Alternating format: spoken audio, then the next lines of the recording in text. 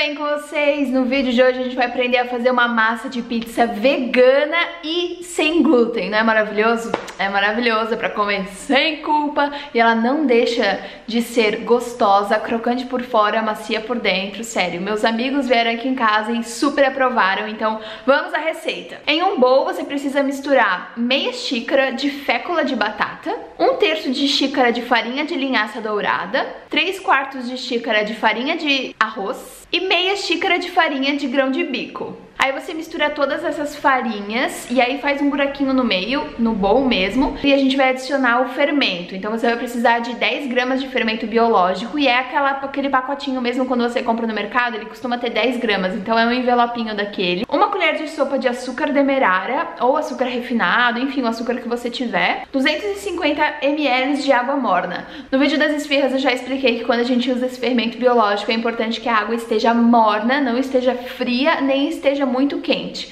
Ela tem que estar tá morninha, tipo, tanto que você consiga manter o seu dedo dentro da água, sentir um calorzinho, mas não queimar o dedo ou também não, não parecer muito fria. Essa água morna vai ajudar o fermento a comer esse, esse açúcar e a se e a crescer, né? Então a fazer a massa crescer. Mistura isso tudo muito, muito, muito bem. E aí adiciona uma colher de sobremesa de sal. O sal é um pouco a gosto, mas eu acho que pelo menos uma colher assim de sobremesa pequenininha pra... Não muito cheia, claro, mas pra deixar um sabor na massa.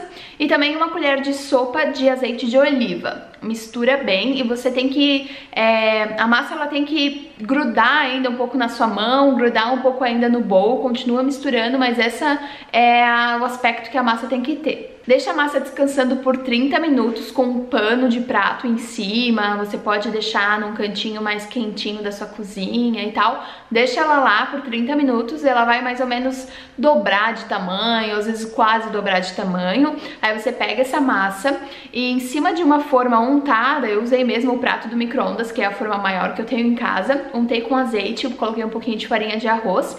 E aí eu comecei a amassar a massa e a tentar formar uma pizza ali é, nessa minha forma. Uma coisa importante é que na hora de abrir a massa, para não grudar tanto na minha mão, eu passei um pouco de azeite na minha mão e fui é, modelando a massa dessa forma, porque ficou muito mais fácil. E aí depois de pronta e abertinha a massa, você tenta fazer uma bordinha também ao redor para que os recheios não caiam, né? Você pode levar a massa pro forno pré-aquecido a 180 graus por pelo menos 15 minutos. Depois desses 15 minutos que a massa ficou no forno, você pode voltar para sua mesa e adicionar o seu recheio preferido. Dessa vez a gente escolheu molho de tomate com rúcula e tomate seco, que são, sério, acho que é um dos meus sabores preferidos. São duas coisas que eu amo muito e juntas elas têm um sabor sem igual. Se você nunca tentou, testa aí na sua casa que é maravilhoso.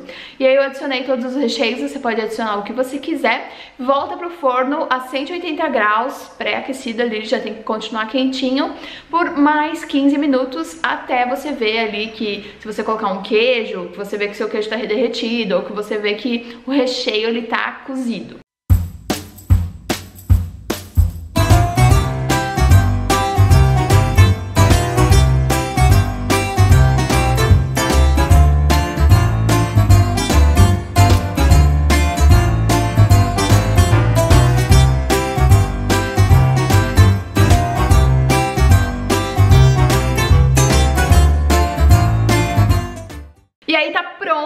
Eu escolhi por fazer uma massa mais fininha, então eu abri bem a minha massa, ela ficou num tamanho bem legal, serviu duas pessoas tranquilamente.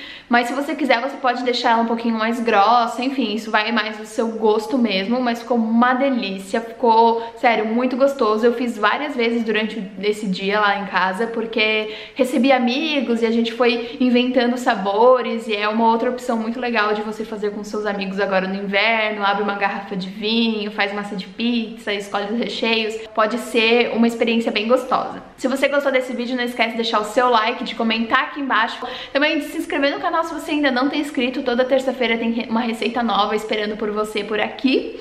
E se você ainda não acompanha o Cabide Fit lá no Instagram, vai lá acompanhar porque você vai ficar sabendo mais da minha vida alimentícia. Não sei se isso é um termo certo, mas você vai saber tudo que eu como, que eu compro de comida, os lugares que eu vou, os restaurantes e tal, toda essa minha vida de comida. Um beijo enorme, até o próximo vídeo e tchau!